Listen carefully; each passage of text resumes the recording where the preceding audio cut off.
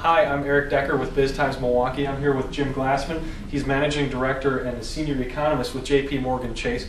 And Jim, you just got done talking with the uh, Kenosha Area Business Alliance, sort of on your outlook for the economy in 2010. And the title that you were working with is called "Here Comes the Sun." Talk to me about you know the signs that you're seeing out there in the economy that are pointing to to recovery right now.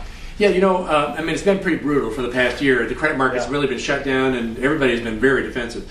The the signs actually um, this Thursday, people will see a, a report on growth in the U.S. for the Third third, quarter- quarter. So third quarter we, we're we're thinking they will see that we grew three or four percent. Great. We economists have been watching all this news.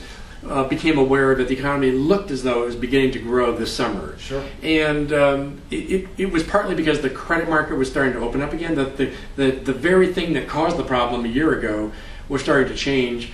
And it's partly because businesses takes time for them to address problems. Sure. But they got they got ahead of that.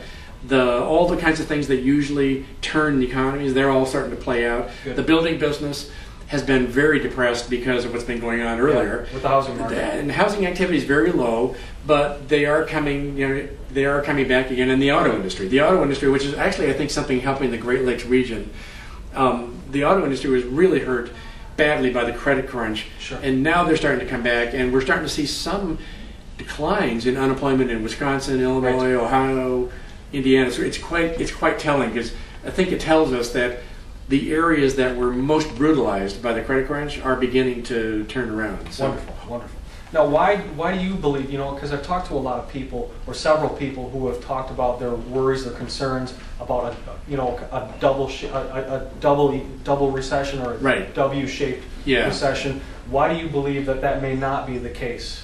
Well, you know, pe- people always worry. This is a, an idea that we always have in past cycles, and it comes from the following: the economy's hurting. We take big actions, fiscal policy, or the Fed does something, and then people say, "Okay," and that usually helps. It gets things started. Sure. And then people say, "Well, wait a minute."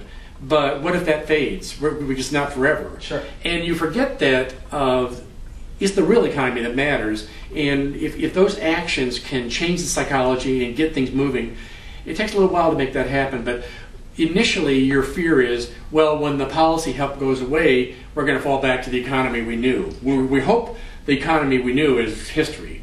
Yeah. And that we're going to we're going to find that as the policy process, the policy stimulus fades, the businesses are starting to move again. The layoffs are starting to slow down. Sure. And you get that whole dynamic playing out. And you know we've been through this many times. Yes. In this country, we've been. This is the 48th time we've gone through one of these cycles, and it's a reminder that bad things happen. We often don't we don't anticipate that they're going to happen, but when they do happen, there are all kinds of things in our economy that happen, including businesses, people make adjustments, and once you've done that and got it behind you, it's time to get moving again, and that's what we're seeing play out right now. Last question for you is, you know, interest rates. Do you see them holding at the current Fed rate? You know, which is you can't really get much lower. zero. Yeah, you can't really get much lower than that. Do you see that, that low rate holding steady for the through 2010 and into the foreseeable future? Or yeah. do you see? Uh, a- It's going to be for a while. I, I think the Fed is willing to keep its foot on the gas for a while until they're comfortable that the economy is actually moving in a, in a convincing way toward full employment. They tell us this. I mean, th- that's why they say, given the circumstances, interest rates are likely to remain unusually low for a while. I mean, they're looking at unemployment, and there's a long way to go to get back to full employment. They're looking at inflation, and inflation's very low, Yeah. lower than their long run goal. Sure. And they know that in time, we're going to have to wind down this fiscal stimulus. So we're going to need interest rates to get through that. So I think we're looking at a future if it's going to have low interest rates for a while. Yeah. And short term interest rates lower also, which is going to be encouraging people to move some money from their cash, where you don't get much, Sure. into something that's, uh, you know, longer term. Interest interest bearing vehicle. Yeah. Perfect. Yeah. Well, Jim, thanks very much for talking with us, and I hope you're right. Yeah, thank you. Take care. Great.